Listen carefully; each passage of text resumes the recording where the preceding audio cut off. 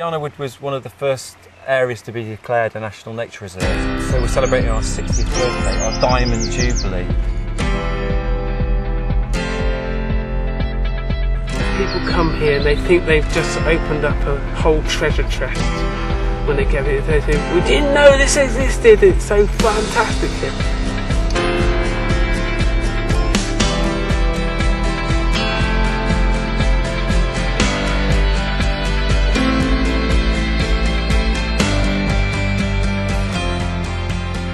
Somewhere where you've got a semi-natural woodland of this size is extremely rare. It could have all been really different for the National Nature Reserve. It may never have become one because in the sale particulars, it actually advised potential buyers that they may want to clear fell this area and plant it up with conifers instead. And that would have been a tremendous loss. We would have lost this fine, fantastic oak woodland and all the birds and wildlife that's associated with it. It's fantastic that there was forward-thinking nature conservationists around at the time who, saw the potential in this place as an open-air laboratory, somewhere where they could do research and find out more about nature conservation and how to manage these fantastic landscapes. Over time, the ethos of uh, having a ring-fenced nature reserve just for scientific research has changed and it's following recognition that you can have fantastic, beautiful places for wildlife, but actually places where public can, you know, people can actually access and they can have fun, they can, you know, you can hold events without any detriment to the wildlife interest, but with the longer term aim of actually getting people involved and connected with these places. Today we've had a fantastic day. We've had a Spring Woodland Festival and this festival has been all about celebrating nature here on Dartmoor itself.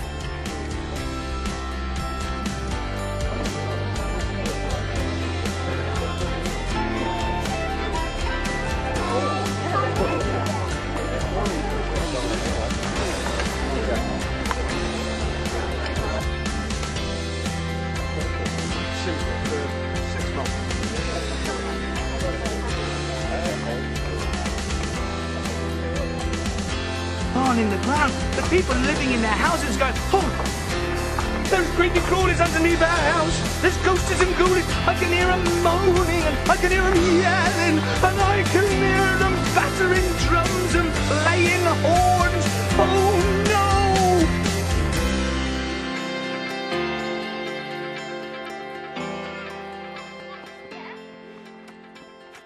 We've been supported by lots of community groups, the RSPB, Woodland Trust, Butterfly Conservation, the local scouts. Everybody's come along and they've pitched in and they've shared their enthusiasm for wildlife. We've had some, some interesting questions about birds and about wildlife generally. And it shows that people are taking more interest. Uh, yeah, I've seen a flycatcher actually, a pied flycatcher when I was up at the car park. That's, that's quite a good thing to see around here. It's a great event, really good idea. I mean, I think it's good to get the public out here. It's beautiful woodland, beautiful woodland. It's really good because a lot of people they don't really know what goes on here. They know it's a nature reserve, but they don't know all the conservation management that happens here. Some activity to be able to go and pond dipping. They found the tadpoles and some little larvae in the um, pond down there. It was really good fun. We've just been showing the kids and the families um, pond dipping. We found a few tadpoles, frog tadpoles, a few, uh, well, one newt, uh, lots of damselfly, uh, nymphs and mayfly larvae. With pond dipping, it's quite good for getting the kids involved, like getting hands-on and enjoying like wildlife. So for some of them, it's probably the first time they've seen some of this wildlife. So yeah, it's good. We found um, three worms, all different types, and we found. I'm not sure what we found. It looks like that. Right, okay, well, what is it? put that back. Oh, it's There's um, something, I think Oh, that's wow. something like that. Yeah, do you want to look in the little ID sheet over here? See how it's all red with his little legs on the end? Now, if you look at that, then he's We've also got something on the other side. Yeah, well, I think that's one end's his head end with his legs. You can see today children are interested in the, the great outdoors. There's, there's a little bird called a pied flycatcher, uh, which the wood is renowned for, and they nest here in these oak woodlands in Devon, and that one I know has got a nest in now. Now, pied flycatchers are interesting for a number of number of points of view, but one most interesting ones is is they have more than one wife. One male could look after three females at least. We're trying to find ways that people can get involved in all different aspects of nature conservation. If somebody's interested in bird watching or in wildflowers, they can come along and they can take on some research or some monitoring themselves as a, a kind of a lone project. Some people will come and help uh, on an event and uh, share their skills and knowledge with all the people that come on the events. Um, I've gone down a bit of the way and what we're finding is Victorian bedsteads. We found 1920s Art Deco handset for a telephone. The ore that came up, mixed with the rock, went off that way. Some people come out and they do uh, management work to get involved in the reserve and make it keep it looking as beautiful as it does. What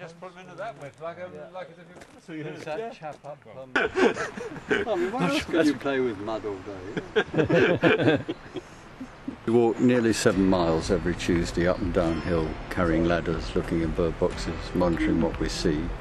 There are t- over 230 bird boxes in this wood, and we, we look in each one every every Tuesday, whatever the weather. Mm. Yes. and we've been into schools and we've, we've, we've got them excited about doing bird watching and then they've come back and they've been involved in bird ringing projects. Just like a rainforest, it's a really important woodland habitat. These damp, humid conditions actually mean that all kinds of wildlife thrive up here. So one of the aspects we're going to look at today is the bird life. We're going to try and sort of like imagine the kind of birds that we might get within the woods and try and get these down on our branches in our carvings today.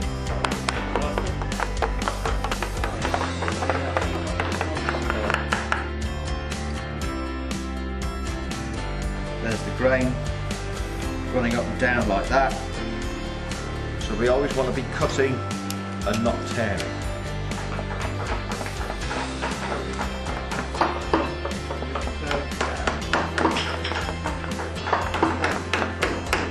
Um, this is my first time and I've actually found it really fun. It's, well, if you want to do this kind of thing, you should come here because then you can learn more about it. Right, go through the middle. There you go. Right.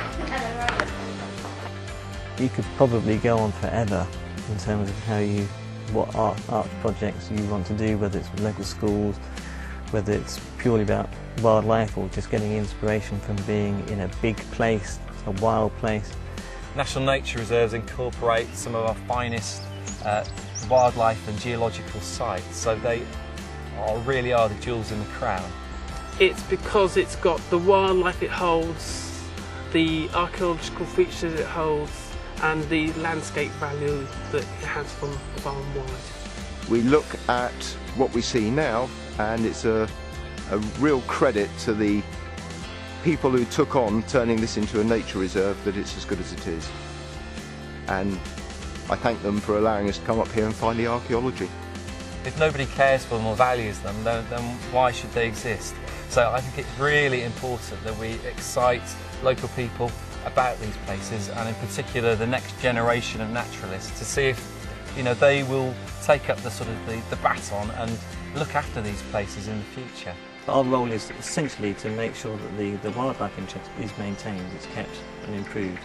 It's about where NNRs fit in with, with the local ecosystems and where we've got you know, particular species that, you know, whether it's butterflies, birds or whatever. It's about using these places as reservoirs to, to increase those species outside in the landscape.